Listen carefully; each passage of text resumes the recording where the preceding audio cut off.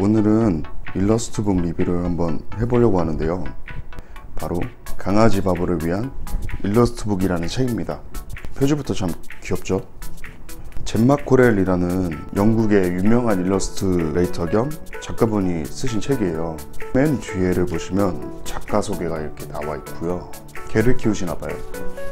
저번 시간에 소개해드렸던 고양이 집사를 위한 일러스트북과 같은 시리즈인 것 같아요.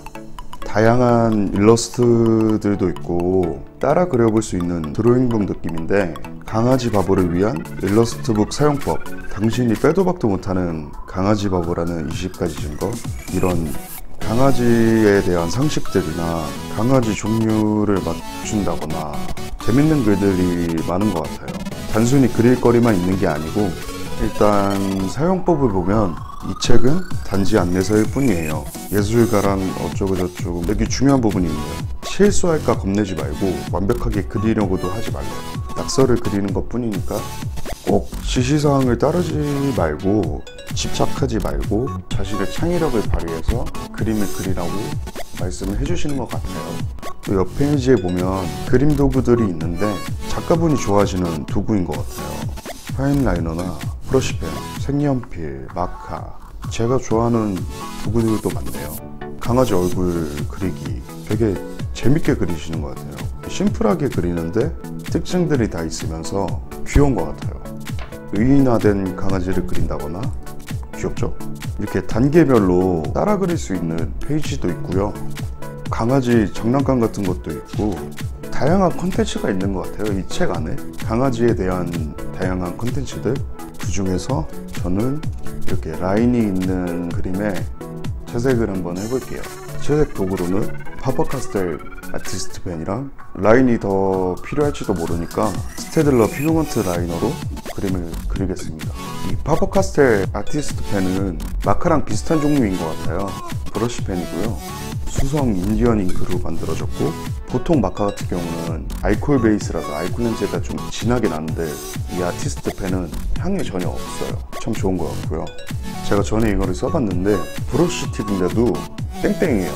탄력이 좋다고 해야 되나? 그래서 세밀한 표현할 때도 전혀 문제가 없을 것 같고 이거는 24색 세트인데 48색 세트나 아니면 뭐 그레이톤 세트 네온 컬러 세트 등 다양한 세트들이 있고요. 다양한 일러스트레이터 분들이 사용하시는 것 같고 그러면 그림을 그려보겠습니다. 그냥 색칠하는 건 재미없으니까 오른쪽은 캡틴 아메리카 색칠하고 왼쪽은 윈터 솔저 색칠할게요. 옷의 라인들을 그려줄게요. 가면을 쓰고 있는 모습으로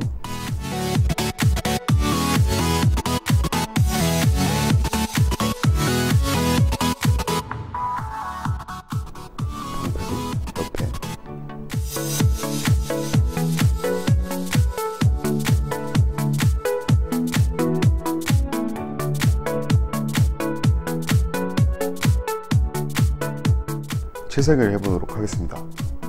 캡틴 아메리카의 메인 컬러인 파란색으로 칠해줄게요.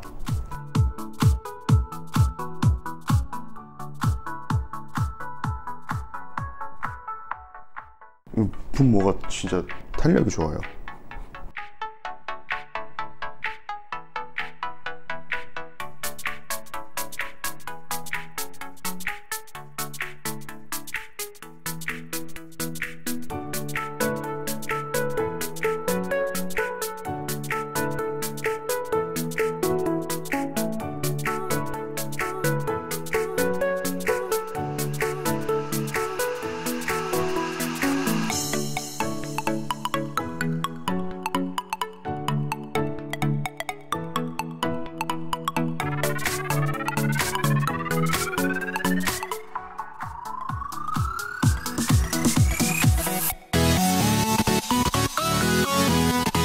이렇게 완성이 됐습니다. 버킷도 한번 그려볼게요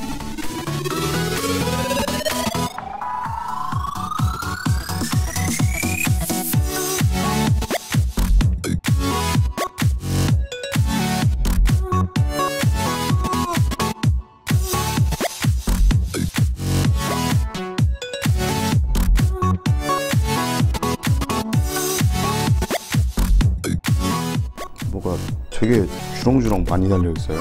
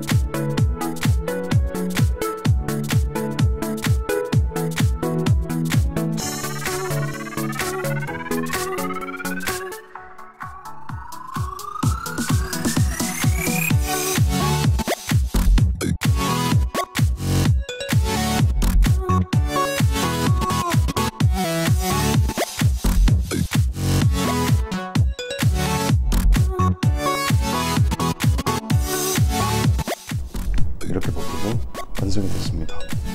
캡틴 아메리카 버키. 오늘은 강아지 바보를 위한 일러스트북의 그림을 한번 그려봤고요. 강아지 좋아하시는 분들이나 동물 좋아하시는 분들, 재밌는 그림을 그려보고 싶으신 분들에게 참 괜찮은 책인 것 같아요. 여러분들도 꼭 한번 그려보셨으면 합니다. 감사합니다.